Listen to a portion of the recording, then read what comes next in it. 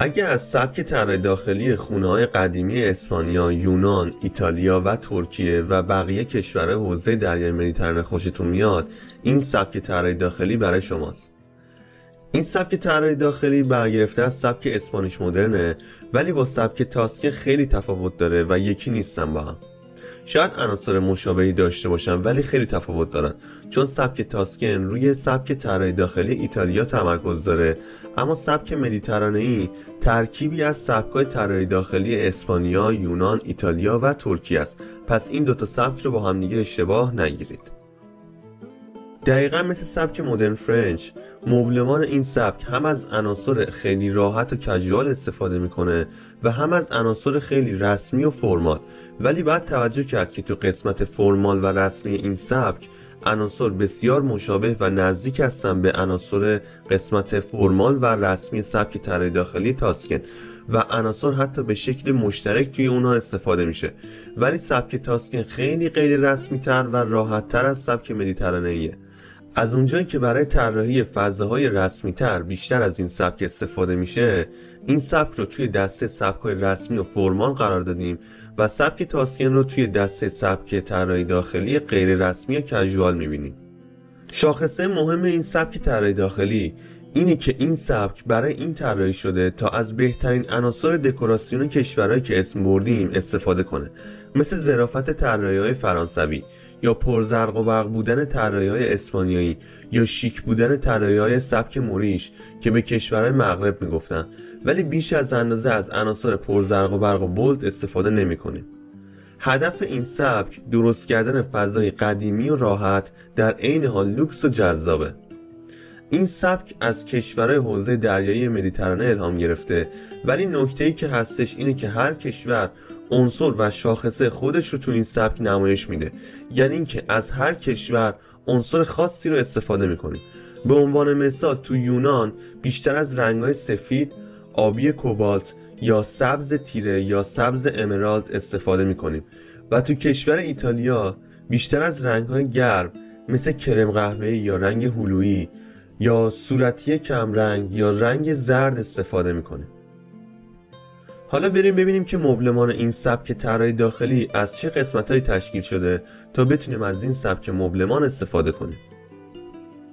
وقتی به مبلمان این سبک نگاه می‌کنیم می‌بینیم که مبلمان بسیار سنگین و بزرگی دارن و مبلمان این سبک اصلا ظریف نیستش. پایه های بزرگ و سنگینی داره اکثرا با چوبکاری های کار دست تزین شده. خطوط منحنی تو خیلی زیاده و ارتفاع کمی نسبت به زمین داره. و پایه های خیلی کوتاهی داره. مثلا یه میز نارخوری معمولی توی این سبک اندازه خیلی بزرگی داره و برای 8 تا 12 نفر کافیه. از دستگیرها اکسسوری های خیلی بزرگ و سنگین جلا خورده استفاده می‌کنیم که خیلی جزئیات دارن. برای اینکه این مبلمان راحت تر باشه از نشیمن زخیم و پشتی های بزرگ و کوسنه خیلی زیاد استفاده می‌کنیم. رنگ تیره چوب و از رنگ چوب کاج و سنوبر هم استفاده میشه. مثلا کمد لباسی آرما رو که توضیح دادیم تو این سبک هم خیلی استفاده می‌کنیم. یکی از عناصر غیر رسمی یا کژوالی که تو این سبک استفاده میشه پوفای مراکشی هستن. به جز چوب های رنگ تیره که برای مبلمان مورد استفاده قرار می‌گیره متریال دیگه که استفاده می‌کنیم فلزهای رنگ تیرن. مثل فلز برونز یا مس و مخصوصا آهن رنگ تیره که مثلا برای درها فریم پنجره ها یا نرده ها یا پله ها یا جامپنه ها یا حتی لوسترا و نرده شومینه یا فریم تخت از اون استفاده می‌کنیم. متریال دیگه که خیلی استفاده میشه تو این سبک سنگ برش خورده است که تو راهروها یا کف ورودی یا توی کف پوشا از اون استفاده می‌کنیم و حتی توی بیرون خونه هم از سنگای برش خورده برای کف پوش استفاده میشه. تو این سبک طراحی داخلی هم از شومینه استفاده میشه و معمولا اطراف شومینه تاقها و ستونهای خیلی خاصی رو استفاده می‌کنیم پارچه که معمولا تو این سبک استفاده میشه پارچه های پنبهی، پارچه های ابریشمی و پارچه های نخی و کتون هستن. پالت رنگی تو این سبک بسیار جذابه و از منظره و دریای مدیترانه ای الهام گرفته. چون این سبک از ترکیب دو قسمت رسمی و غیر رسمی تشکیل شده می‌تونیم فضای نشیمن و نارخوری رو توی بخش رسمی و فضای بالکن و فضاهای بیرونی رو تو بخش غیر رسمی در نظر بگیریم و پالت رنگیمون رو با اون فضا متناسب کنیم. به عنوان مثال می‌تونیم تو فضاهای غیر رسمی از رنگهای آبی روشن، آبی کوبالت، بنفش کمرنگ، بنفش تیره، سبز، کرم هلویی، زرد یا کرم قهوه‌ای استفاده کنیم. و فضاهایی که رسمی تر هستن کرم قهوه‌ای، نارنجی تیره، زرد، بژ و قهوه‌ای رو استفاده کنیم. تو این سبک طراحی داخلی ما از رنگ‌های خیلی زیادی استفاده می‌کنیم و برای کنار هم گذاشتن این رنگ‌ها بهتره دیوارها رو رنگ کرم یا سفید در نظر بگیریم و از این رنگایی که گفته شد مثل صورتی و آبی هم برای مبلمان هم برای وسیله استفاده کنیم ولی بهتر از رنگ سفید علاوه بر دیوارها برای مبلمان های بزرگ و قالب هم استفاده کنیم تا تعادل رنگی تو فضا برقرار بشه. کرم و بژ رنگ های خونسا خیلی خوبی هستن که به عنوان رنگ قالب می‌تونیم از اون استفاده کنیم. مثلا تو فضاهای رسمی می‌تونیم از دیوارهای کرم یا بژ یا زرد تیره استفاده کنیم. و برای فضاهای غیر رسمی تر برای دیوارها آبی کمرنگ هم می‌تونیم استفاده کنیم یا رنگ سفید. حالا بریم سراغ پترنایی که معمولا تو این سبک استفاده می‌کنن. اغلب از طرحهای موزاییکی رنگی که با دست رنگ میشن تو این طرح استفاده میشه که از اسپانیا الهام گرفته و تو فضاهای خارجی مثل پله ها یا تو آشپزخونه برای بک اسپلش یا داخل میزهای بزرگ نارخوری و یا روی دیوارها یا ستونها این طرحها این کاشی رو می‌تونیم ببینیم. علاوه بر اون تو این سبک از کاشی های لعابدار طرح مراکشی هم استفاده میشه و سنگ های طرح عربی که این سنگ ها رو هم برای کفپوش های داخلی می‌تونیم استفاده کنیم هم برای کفپوش های خارجی. علاوه بر اون از طرح های پارچه های تردیشنال که گفته شد برای مبلمان این سبک هم استفاده میشه. این سبک به خاطر موقعیت جغرافیایی آب و هوایی که داره بیشترین استفاده رو از روی فضای بیرون و نور خورشید می‌کنه.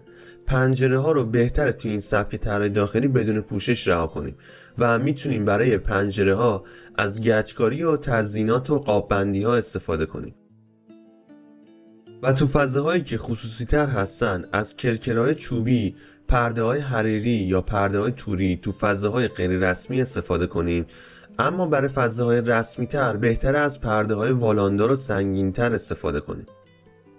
حالا این سبک چون تو آب و هوای گرمی قرار گرفته متریالی که برای کف در نظر گرفته میشه اکثرا متریال های خونکی هستن که کمک به متعادل کردن هوا می‌کنن.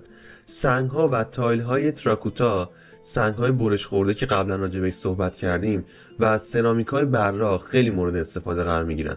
مخصوصا تو قسمت رسمی خونه. و برای فضاهای غیر رسمی علاوه بر اینها می‌تونیم از پارکتا و چوب ها هم استفاده کنیم. حتما از فرشه برای کف استفاده کنیم.